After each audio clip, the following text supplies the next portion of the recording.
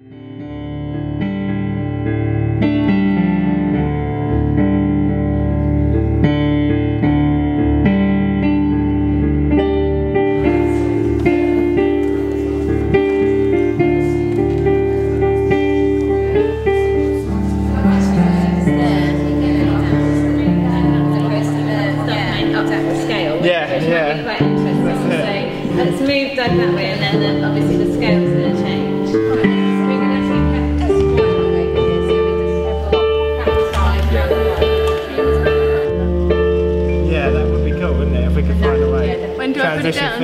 keep it down always. Alright.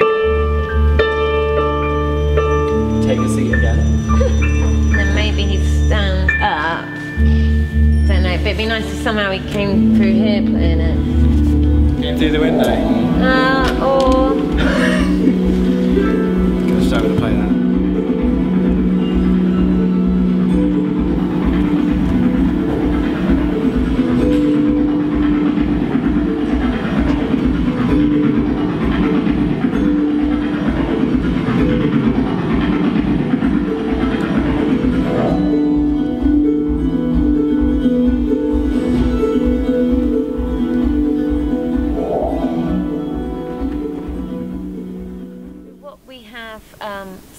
think about so far in the R&D is um, the things that we find really interesting about hotels.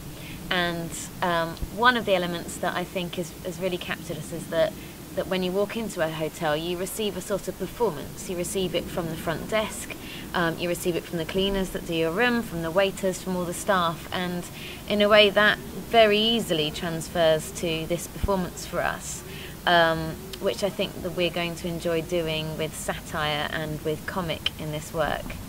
Um, but another thing about the hotels, apart from the way the hotel itself functions, that's really interesting, is also that it's a um, it's a space where people can go and not be in their own lives for a night. Um, whether that's for business or for pleasure, or it's because it's a place you shouldn't, you're not supposed to be um, that you can go, you walk away from your life, and you live in that space as, as whoever you want for, say, 24 hours, 48 hours.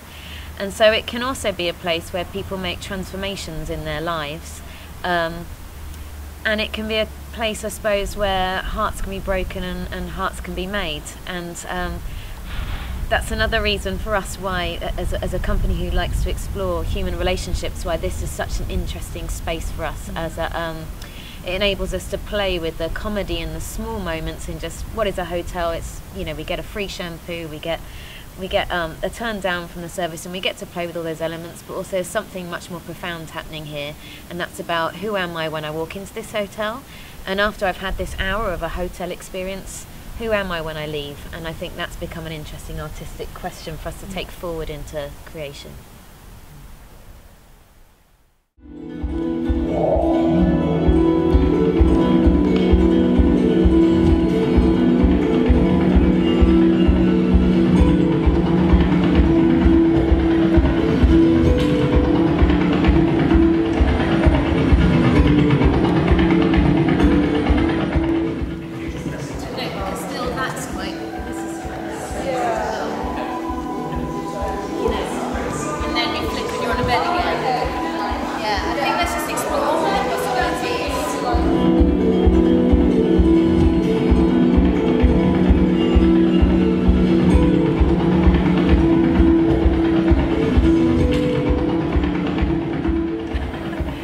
So um, I think what's really lovely about the way we're approaching um, the hotel experience is that we would like to make this a show that can be reached by many people.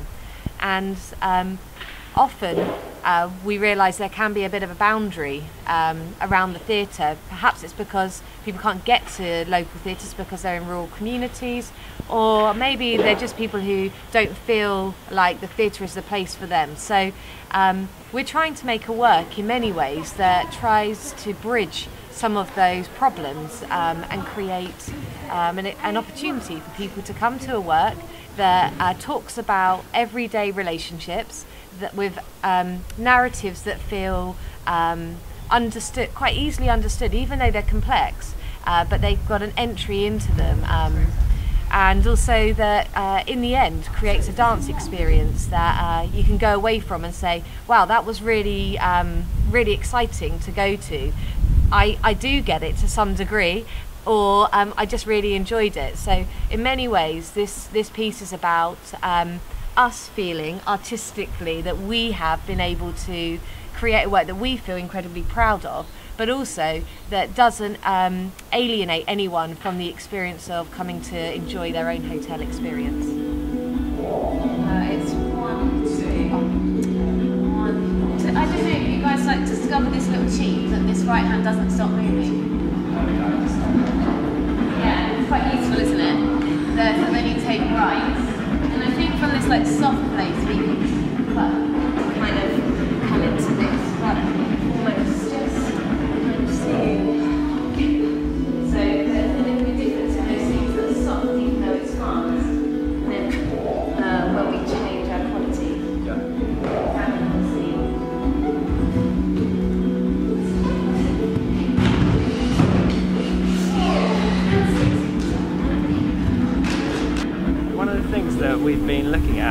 for experience is how the set can really come alive.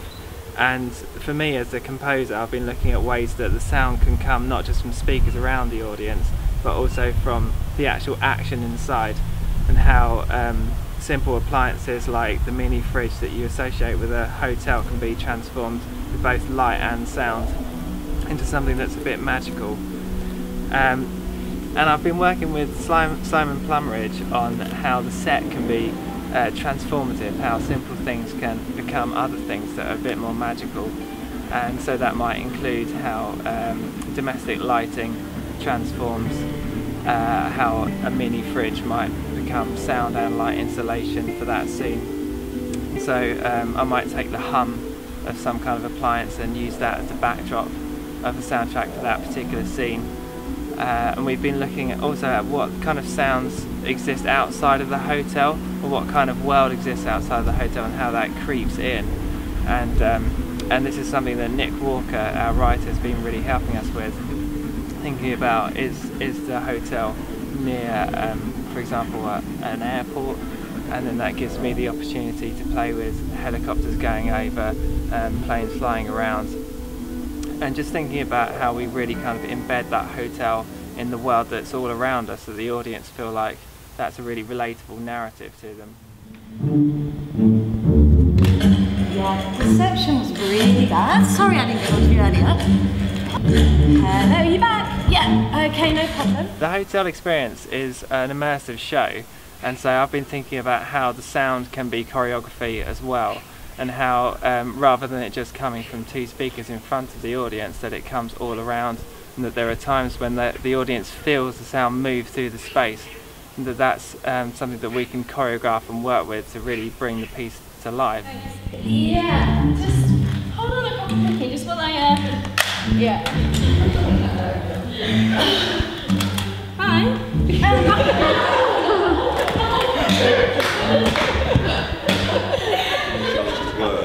is that uh, I've just been really interested in the idea of sort of voiceover that might kind of drift underneath it, and um, uh, and uh, so this, you know, you two in the room piece, for example, it might be that just what might go underneath that is is something like the experience of um, what the receptionist might say. So it feels like that that could be a piece which is about the early exploration of the room, you know, when you first go in and you're kind of checking it out for the very first time. So there's a little bit of a kind of, um, your room's number 365, it's on the third floor, you, you've got a key card, and when you go in, you'll be able to adjust the temperature. You can't open the windows, but there's a mini bar which is operating. There'll be a thingy on your desk, and a room service card or thing. If you need anything, just call down zero. My name is Carter, whatever. I'm receptionist or whatever, you know. And, and so it's just the blurb that you kind of hear. So you sort of get the sense of the, the hotel bit of it, but also the, the experience of the people in the room, and then a little ask to sort of dwell a little bit on that moment of the view that you kind of get when you first sort of look out and you can see the city or wherever it is for the first time. So uh, it'd be interesting to explore what that kind of narrative does. Um, similarly with the bed, I'm kind of interested in the idea of people wanting to change rooms. So I think hotels are the only place where you actually speak on, on a phone, on a regular phone, you know, where you call down and sort of say, um, uh, the, I don't like the pillows, I'm allergic to feathers, can we have new pillows, can we have a do, uh, actually there's a couple next door and they're rowing, it's really noisy in here, is there a better room that we could go to, or can we have some more shampoo please, because it's really hard. Um, so one of our challenges moving this piece forward and um, also one of the things that motivates us the most actually is how this immersive show goes from space to space. And um, and that we have designed it or are going to design it so that it can go to any theatrical space that also it's possible that it goes to non-theatrical spaces um, but the rub is that it looks just as beautiful as it would do in a theatre.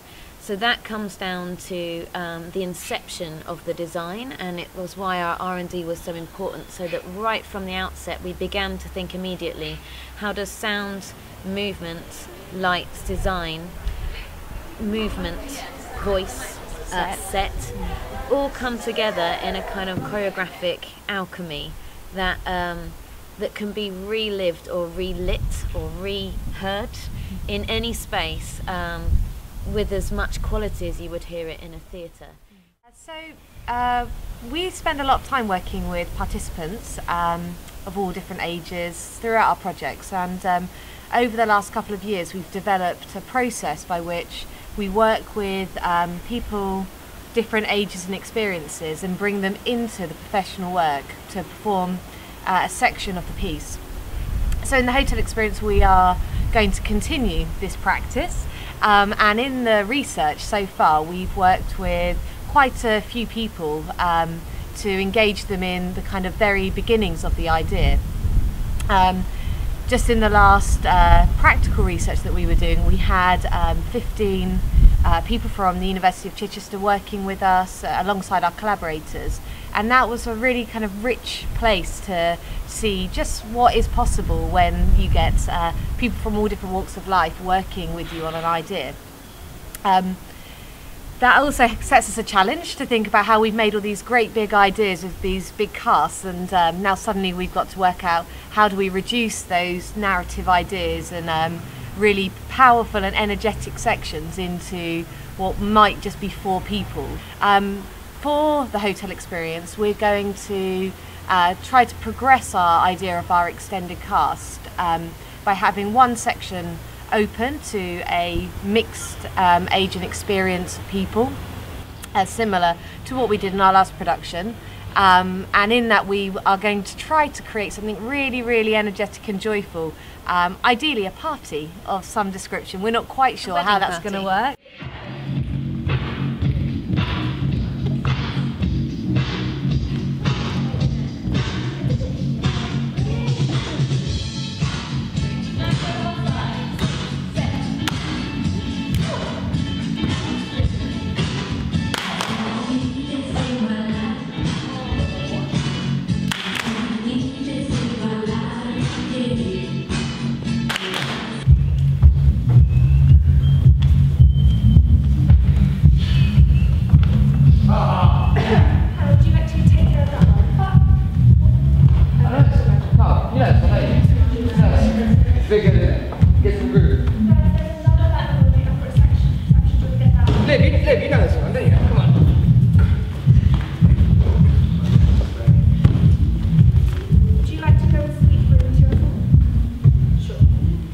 Um, but there's also another strand of this that we're going to try and explore, um, mainly with musicians actually, to see whether we can make some openings in this work for one or two mus- musicians to have a kind of bespoke role. They might be um, a pianist in our bar section, or they might be a singer um, at the wedding party. We're not quite sure how, but we would like to try and carve these roles in the work so that um, again, we're sort of trying to push the boundaries between professional and participation and see is it possible for us to enable someone to take the next step. So, um, yeah, it's really exciting. Um, really looking forward to, to trying out in the process.